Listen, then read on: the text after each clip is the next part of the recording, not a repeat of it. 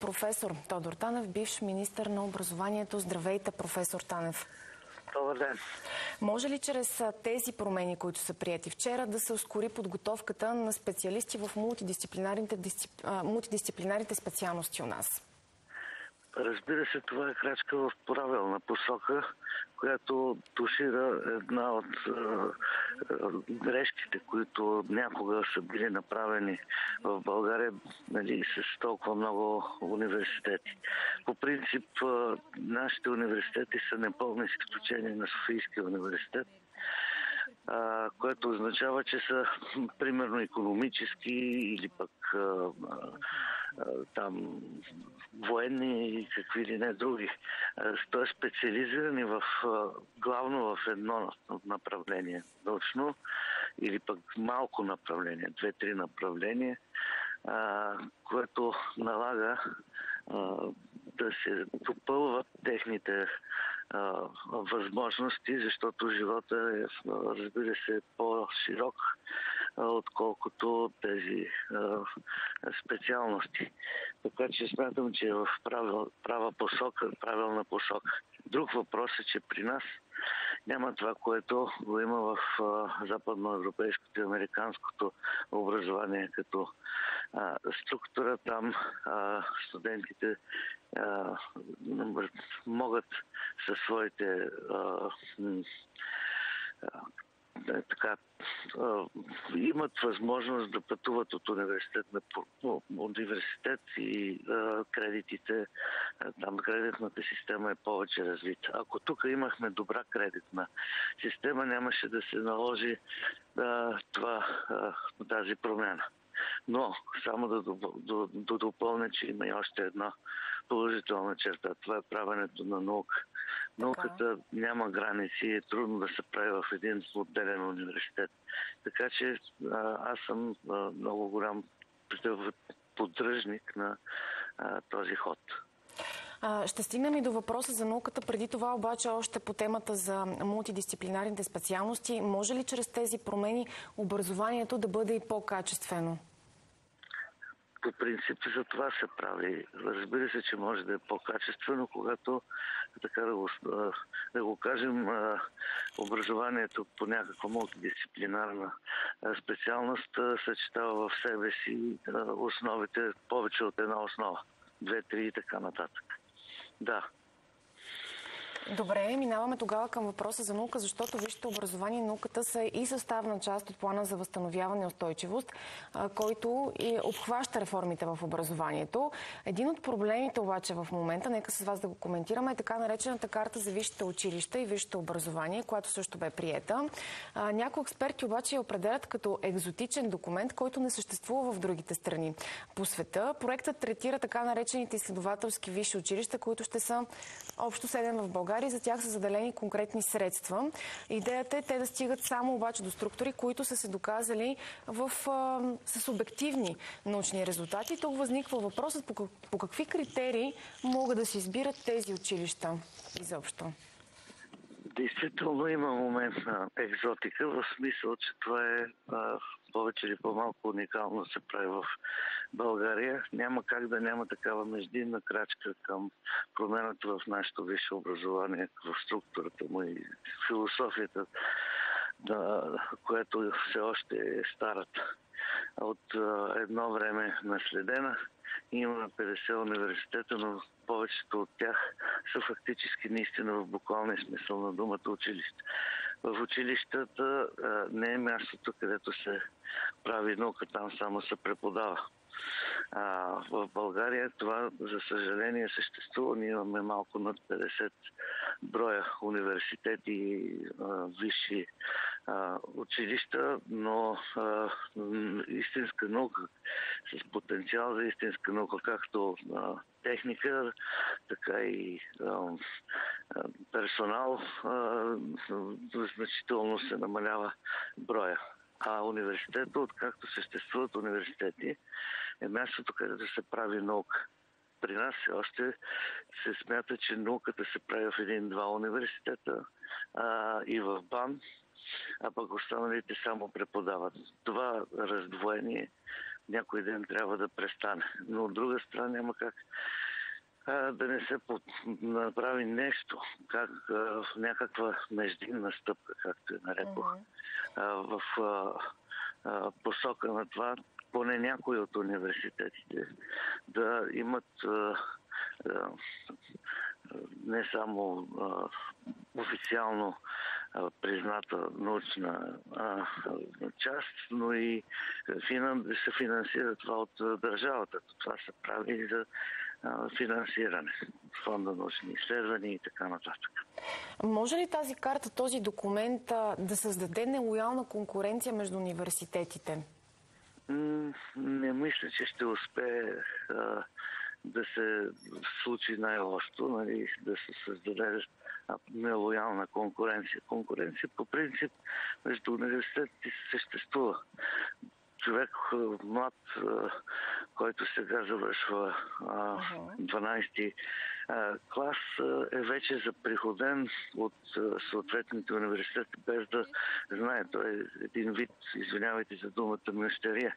Те се борят за деца в следващите години се очаква още по-голямо намаление на броя на кандидат студентите. Улеснява се колкото може повече тяхното а, влизане. В този смисъл картата, която се прави, а, е средство за урегулиране, а не за насърчаване на а, конкуренцията между да. университетите.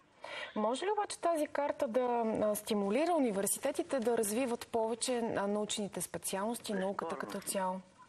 Безспорно в нея се съдържа този момент най-после да, като състен трябва да се бутнат университети някои, които нямат особени научни постижения.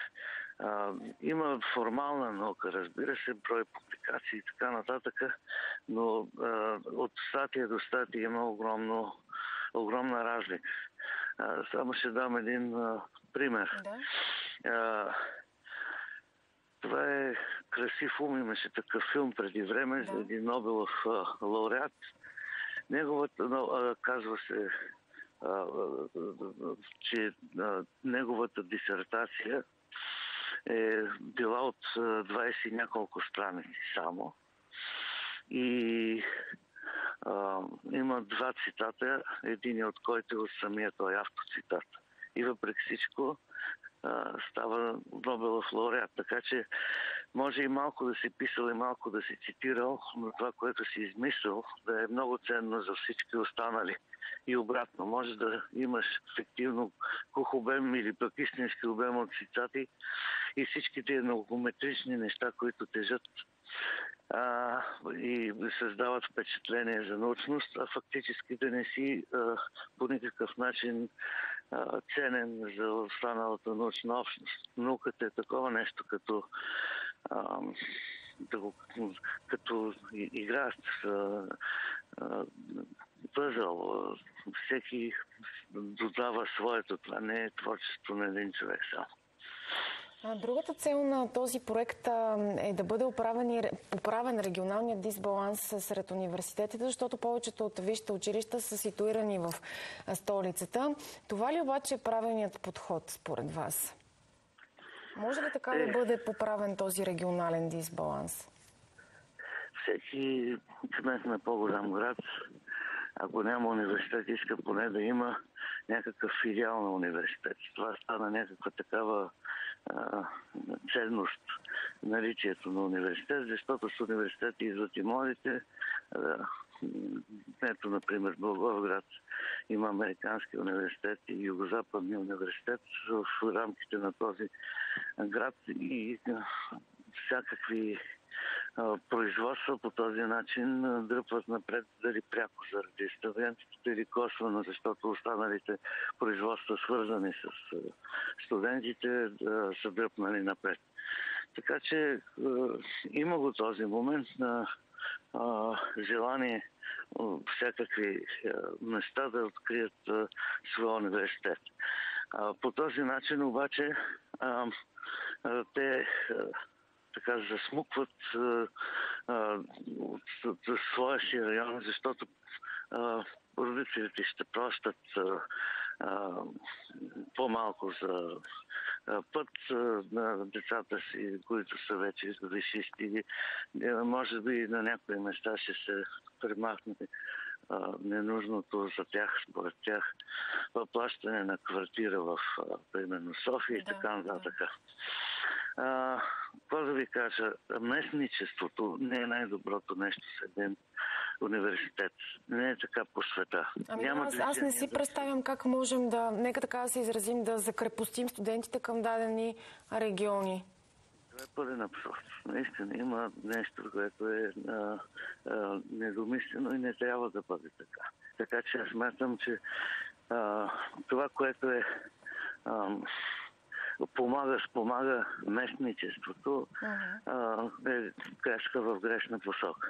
Трябва ли според вас бизнесът да даде оценка на идеите на Министерството, на въобще за тези предложени промени, да даде идеи за практическата, приложната стоеност на научните изследвания? Трябва ли бизнесът да даде своето, своята оценка и своето мнение?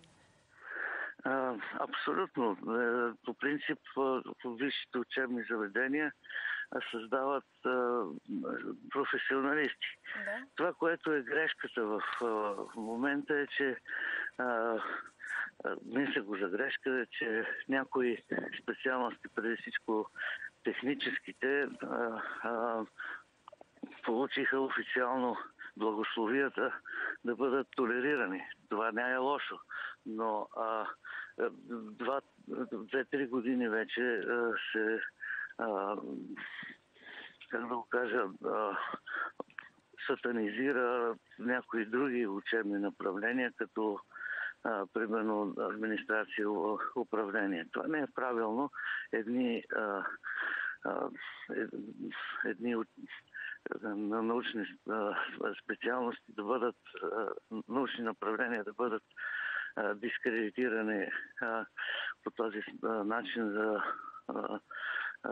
за сметка на други животни. Има нужда от всякакви специалисти. Пазара на труда най-добре може да се справи с този, да го кажем, възможен дисбаланс, който се създава между специалностите. Не е работа на университетите да да, да, да коригират това. Не е, мястото още в университета да се коригира кой колко специалисти в пазара. Така че има нужда. Значи, аз съм за а, това практици. Не казвам само бизнеса. Бизнеса, ако е става дума, да ги подразбираме производство, това да са инженерни специалности. Значи аз не би го нарекал бизнеса. Практиците в различните полета на практиката трябва да имат по някакъв начин връзка с тези, които създават учебни планове. Това, което е дуалното обучение в училищата, което тръгна по времето, когато бях аз министър с мой подпис, трябва да бъде въведено по-широко и в университетите. За съжаление, това могат и това да, да, да, да го развиват по-големите университети. У нас именно това са изследванията, където се срещат практиците, практиката и теорията. теорията. Да, това мога да кажа. Не, бизнесът разбран като всички практици да участва напълно задължително за а, съвременната, съвременното образование на 21 век.